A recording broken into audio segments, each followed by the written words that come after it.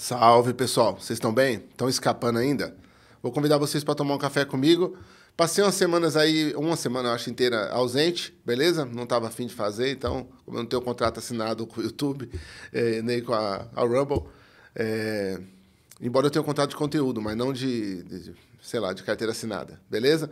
Então não estava afim. Hoje nós vamos falar, hoje eu estou afim de falar, então nós vamos falar de em quem não vou votar. E eu vou dar algumas indicações de livros aqui que eu ganhei numa feira literária, tá bom? Vem comigo.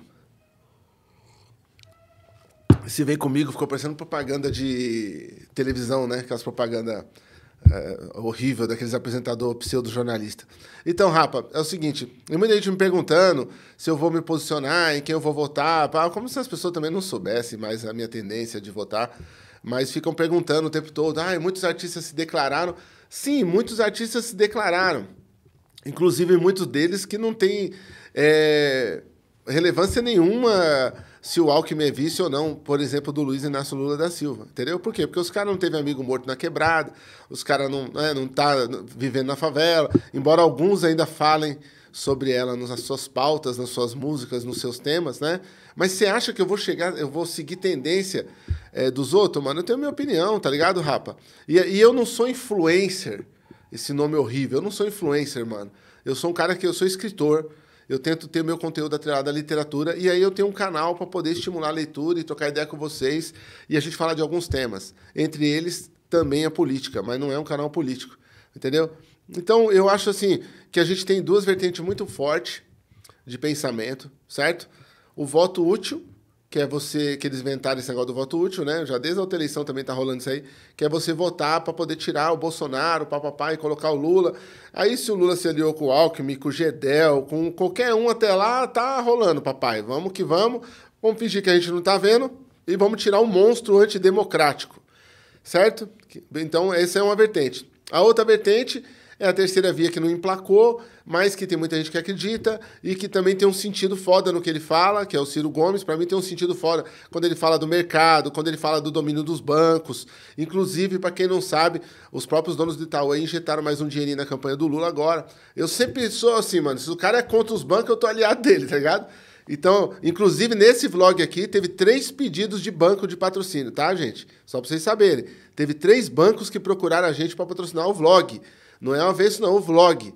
O interesse deles é aqui, ó, no bagulho opinativo. Entendeu? E aí eu falei pro meu produtor, pro Denis, falei, Denis, descarte esses caras, é louco, vlog, você tá louco. Tá ligado? Eu não vou me atrelar a banco, mano. Entendeu? Então eu conto sempre com vocês no Apoia-se para manter, manter esse canal independente acima de tudo, tá ligado? Então a força de vocês aí sempre é muito importante. A gente deixa o link sempre aí na inscrição aí na. É inscrição que fala, não, né? Na descrição, né? Tem que ser discreto na descrição. Entra o link aí na descrição, beleza? Então, assim, tem essa vertente aí, que é do Ciro, mas também sozinho o cara não vai conseguir mudar esse mercado financeiro inteiro, não vai conseguir aplicar as leis, porque ele não fez coalizão com algumas pessoas, não conseguiu massa popular também, tá ligado? No voto dele. E, e tem outra questão que eu vou abrir aqui para vocês.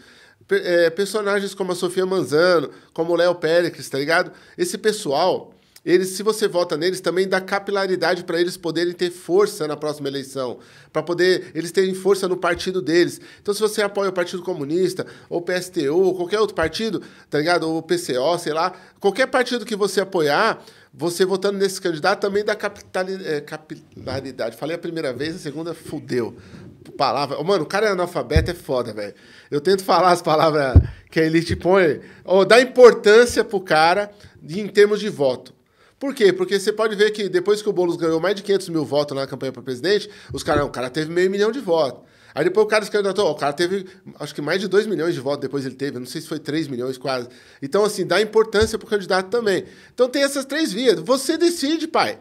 Sabe por que você decide? Porque aqui a gente abriu o debate, tanto nesse vlog como no avesso, no podcast nosso aqui, nós abrimos o debate para você poder pensar. Eu, quem sou eu? Eu tô vendo os caras me mandando já marcado aqui, ó, deputado, é, o senador. Eu falei, cara, esse cara é. Mano, será que esse candidato que ele tá apontando para mim é bom para mim ou para ele? Porque tem um monte de gente se amarrando com o candidato também por interesse. Para receber emenda. Eu tenho, tem gente que. De tanto, isso aí tanto faz, direita, esquerda, ultra esquerda, ultra direita, um monte de se amarrando a candidato, não é porque acredita no cara, não. É por causa de emenda. Eu recebo um monte de pedido também de candidatos querendo vídeo de apoio. Eu falei, mano, eu vou fazer um vídeo de apoio para favela do Morro do Piolho, que eu fui lá fortalecer. Tem alguém do Morro do Piolho candidato? Não, então não dá. Entendeu? Porque quando a gente está lá na favela lá, eu, Alessandro, o pessoal do Periferia de Solidariedade, o pessoal do Interferência, não tem muitos com nós, não, parça. Aí depois ficou uma cobrança danada, todo mundo querendo, não, tem que ter engajamento, engajamento. Faz os seus corre também, pai. Sistema capitalista, né? Que vocês apoiou. Não é o sistema capitalista aí que está aí, vigente. Eu não vejo alternativa se não mudar o sistema. De verdade, cada vez que eu estudo, cada vez que eu pego os candidatos, que eu pego as pautas, eu não vejo alternativa se não mudar o sistema. É o sistema que é corrompido. O mercado é que domina tudo. O mercado financeiro é que domina tudo. Os bancos é que dominam tudo. Eles injetam nos caras e os caras fazem o que eles querem, mano. Tá tudo comprado. E esse discurso tanto é o mesmo do Ciro como é o mesmo do Gessé de Souza. É o mesmo discurso. Tá ligado? Por quê? Porque é um discurso de estudo. Se você estudar a política econômica atual do Brasil, se você estudar o que foi feito nesse país nos últimos 20 anos, você vai ver que é a mesma coisa. Quem manda é os bancos. Quem manda é as cinco famílias mais ricas do país, que estão controlando todas as outras. Então, eu, é, o voto é seu. Se você declarar seu voto, eu respeito, tá ligado? Mas eu não vou embasar, enviesar voto de ninguém, mano. Eu sei que eu vou chegar lá e não vou votar no Bolsonaro. Isso eu tenho certeza. E os parceiros meus que eu tô ligando e as pessoas que eu tô trocando ideia, eu tô falando, mano, quando chegar lá, você escolhe quem se quiser, só não vota nesse monstro. Ah, mano, mas o cara, falei, não, não, deixa eu te destruir o argumento pra você. Isso aí não é argumento, não, mano. Esse cara não tá afim de você, não, parça. Esse cara aí tá querendo te destruir, te matar de fome. Entendeu? Esse cara tá querendo que sua família morra. Se esse cara ficar mais um, um mandato, esse país aqui não aguenta. Entendeu? Já não tá aguentando agora, imagina para reconstruir. Quem entrar lá para reconstruir, sendo Lula, ou sendo Ciro, ou sendo a, a Tebet, ou sendo qualquer um, a Sofia Manzano, qualquer um que entrar lá, vai ter um trabalho do caralho. Mas enquanto essas pessoas são candidatas, elas também têm que ser respeitadas. Beleza? Ah, Fez, mas eles também têm que se respeitar. Ah, mano, mas também, ó, tem candidato aí que vomita um monte de número, regra. Aí você vai estudar, ou não é, mentira. O cara só pro debate ali falou. Outro você vai ver que tá com menor audiência aí nos votos, mas você tá falando certinho. O outro ali não tem espaço para falar. O outro é candidato negro, ninguém dá espaço para falar. Entendeu? Então a gente faz o que pode, parça. A gente faz o que pode e o que dá. Certo? Eu queria só abrir isso pra você. Eu não acho justo, mano, ficar. Ah, eu acho que tem. Apresenta as pessoas aqui, ó. Nós trouxemos quem quis vir no podcast. Quem quis vir veio, certo? E nós vamos receber hoje a Sofia Manzano, mais uma candidata a presidente. Entendeu? Então vai estar tá aqui, ó. Quem quiser, quem a gente abriu espaço para todo mundo. O Haddad veio, tá ligado? O Márcio França veio, que é senador, né? Candidato a senador. O quem mais veio? O Ciro veio o Elvis veio, tá ligado? Candidato a governador. Então foi democrático aqui o espaço para todo mundo. Quem quiser colar, quem quis colar, colou. O Léo, a gente está tentando, mas ele está do Rio, mas ele foi na Onda Sul, também é a mesma sintonia. Foi no podcast Onda Sul, aqui na Quebrada também, mesma sintonia. Certo? Eu quero agradecer as crianças que estão mandando para mim. Não para de chegar a Ferresba. Eu não aguento mais ver meu rosto, rapaz. Todo dia na minha casa, começaram a pegar para me desenhar. E aí, olha que bonitinho, né, mano? O primeiro desenho desse aqui foi de Cláudio Furtum, que ele fez uma favela com eu atrás. E as crianças estão seguindo os desenhos dele, né? Aí então chega, todo dia chega carta, chega desenho. Eu agradeço muito a vocês, mano. O cara que consegue tocar o coração dos jovens das crianças já é um bom sinal, né? Ainda mais um cara chato que nem eu. Ó, frase dos meus livros aqui, tá? Muito obrigado. Pessoal das salas de aula, vem às salas de aula. EE, Escola Estadual Nair Guilhermina Pinheiro Nogueira. Olha que bonitinho, mano. Tá ligado? Então, muito obrigado, mano. Vocês são foda, mano. Certo? Estão me mandando sempre por cartas. Outra coisa que chega sempre para mim, rapa, textos de várias penitenciárias, tá? Vários, vários, né, complexos agrícolas, é, complexos penitenciários. Eu estou imprimindo todos eles aqui, ó, que estão chegando para mim. Chegam muitos por e-mail, alguns por carta. Até com a matrícula do cara que está né, sob prisão ali, né? Então, eu estou lendo todos, tá bom?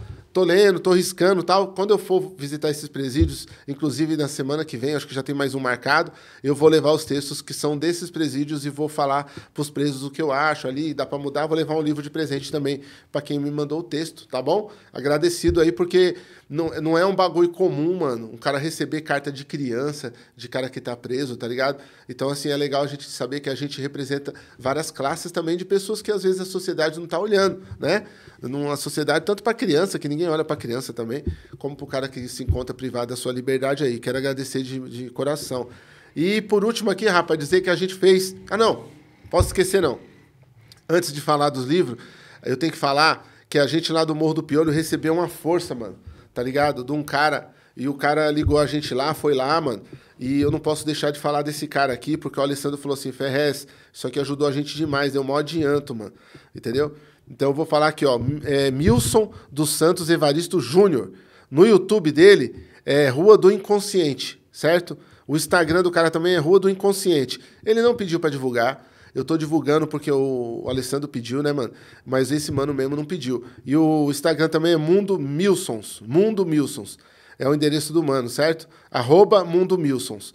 O Milson dos Santos Evaristo Júnior, mano, doou um dinheiro para nós lá, ele é psicanalista. Cara, muito obrigado, cara. Se você soubesse essa emoção que a gente teve com o dinheiro que você mandou, porque a gente agradece cada pessoa que doa 10 reais, 5 reais, 20 reais. A gente está fazendo a construção das casas no Morro do Piolho, que sofreu um incêndio lá. A gente continua essa campanha, estamos reconstruindo sete casas. Precisa de mais de 40 casas ser reconstruída. Nós estamos conseguindo reconstruir sete. Mas aí a gente achou que ia gastar 3.900, 4 mil por casa. Só que o, a fundação das casas tá dando uma puta despesa, mano. Porque o terreno da favela cedeu no incêndio, tá ligado? O incêndio, não sei o que aconteceu, se aqueceu a terra, não sei.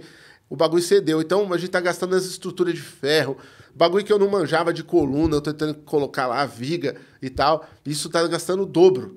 Aí o, o Milson, mano, foi lá, procurou a gente, tá ligado? Falou com o Alessandro, falou, mano, quero doar um dinheiro aí. E o cara doou um dinheiro assim que vai dar pra gente fazer várias outras casas. Então, muito obrigado a todos vocês que doam que podem, porque eu trombei uma professora esse dia no evento, ela falou: Ah, Fez, a gente deixou de fazer um bingo lá para doar para poder para sua campanha do Morro do Piolho. Eu falei: Pô, muito obrigado. Muito obrigado mesmo, porque eu consigo, com esse dinheiro que você está deixando um pouquinho do bingo aí, a gente consegue articular umas casas para essas pessoas, tá bom? Também recebemos uma doação de fraldas, materiais de higiene, e a gente mandou tudo para lá de caminhão. O dinheiro do Milson, para vocês terem ideia, a gente mandou tudo pro depósito, mano. O cara do depósito lá quase mandou um beijo pra gente. Porque a gente mandou tudo pro depósito, falou, compra tudo de material, agora a gente vai reconstruir várias outras casas. Então, muito obrigado pela força que vocês estão dando, tá bom, Rapa? É muito importante. É, quem quiser contribuir, interferência, é, apoia-se barra interferência. Quando você põe nesse Apoia-se, é, esse dinheiro específico vai para lá. Ou pelo Pix do Interferência também, que eu vou deixar o CNPJ do Interferência aí embaixo no, no, no programa também, tá bom? Aí a gente manda para Periferia e Solidariedade, nossos parceiros que estão lá, porque a minha ONG não tem braço para estar tá lá junto. É eu junto com o Alessandro, certo? A minha ONG está cuidando de 94 crianças aqui no Capão, um bagulho, o maior trampo da porra, mano. Ó, saiu o nosso primeiro Mauá da Comic Zone, certo? Então, quem quiser, tiver interesse, vai lá, dá uma procurada, mano. Puta, Easy Breeze, a gente tá mó feliz, tá ligado? De publicar Easy Breeze. E, mano, quem tá lendo tá se apaixonando. Então, se você tem interesse, procura na loja física ou entra aí num site e compra, beleza? Eu não deixo o link de cara milionário, não. E eu recebi vários livros de presente na feira literária, tá legal? O Gabriel Messias, pra gente não se esquecer. Olha que trabalho bonito do Selim Trovoar. Vou mostrar aqui, porque depois eu vou mostrar no avesso também. Recebi Aderaldo Luciano, Estranhos Engenhos Sinais. Não, é Sinas, desculpa. Estranho Engenho Sinas, porque conta a história aqui dos caras que trabalham nos engenhos tal, até a capa é sobre isso. Que trabalho impressionante do Aderaldo também, beleza? Aí eu, eu, eu também recebi Quebrada Se Move, que é uma coletânea de muita gente aqui da Zona Sul, tá ligado? Seis dançantes, são seis pessoas que dançam tal, em seis periferias de São Paulo, tá ligado? E, mano, mó barato, ó, esse quadrinho aqui, ó. Então, se você abrir ele, ele tem, você inverte ele para ler dos dois lados, tá ligado? Então, parabéns pelo trampo também. E tem um selo, Quebrada Ilustra. Quebrada Ilustrada, certo? Aí eu recebi também Craveiro da, do Aical Melone, também do Selim Trovoar. Puta trampo bonito, rapa. Olha isso aqui, mano. Olha isso aqui, que coisa bonita. Inclusive, esse aqui também, que é do Trovoar, do, do, do Selim Trovoar, é muito bonito também, mano. Você é louco. É um jeito de, de desenho. Olha que coisa incrível, mano. Tá ligado? E tem uma coisa de ser brasileiro mesmo, né? Ave Maria, ninguém sente falta do Capitão América. Que se foda. E, e a verdade dói do Podre Flores. Ó, esse aqui eu recebi em Jundiaí, conheci o Podre Flores. Tava doido pra ler isso aqui, tá ligado? Os caras falam, o Podre Flores é o Mutarelli lá de Jundiaí. Ou como os caras comparam. Também recebi de presente da Gabizine, arroba Gabizine, se vocês quiserem seguir. Mandou um bilhetinho para mim aqui, ó. Autônoma. É um fanzine muito bacana aqui, ó, cheio de colagem, umas frases bem, bem impressionantes, assim. Um trampo muito bom. Obrigado aí, Gabizine. E sigam a Gabizine, Gabizine no Instagram. Hoje eu tô um trava-língua da porra, mano. Hoje, deixa eu jogar essa agenda pra lá. Essa porra. Que tem um monte de gente que gostou que eu jogo agenda. Agora todo vlog eu vou jogar agenda. O Vanessa que falou que gostou. Aí eu recebi Anacrônicas de Jundiaí, do Hildon Vital de Melo. Ó, que capa incrível, cara. Eu vi essa ponte lá depois também Jundiaí. Jundiaí é um lugar muito louco, mano. Aí esse trampo aqui também é um difícil pra caralho de ler, mano. Hiker ou Quikes. Não. Hiker ou a Cais, certo? Esse mano aqui, ele me trombou lá, imperativismo. Tu deves dar esmolas a qualquer mindinho que tá escrito aqui atrás. Esse cara aqui, eu ainda não li esse, porque é muita coisa. É do Wildon também, tá ligado? E aí, mano, ele mandou um abração aqui pra mim, autografado e tal. Pessoal, isso que é isso. Já alonguei o vlog pra caramba. É... Sigamos. Tá perto, hein, rapa? Hoje nós vamos receber gente pesada e quinta-feira também. Fica de olho no avesso. É nóis.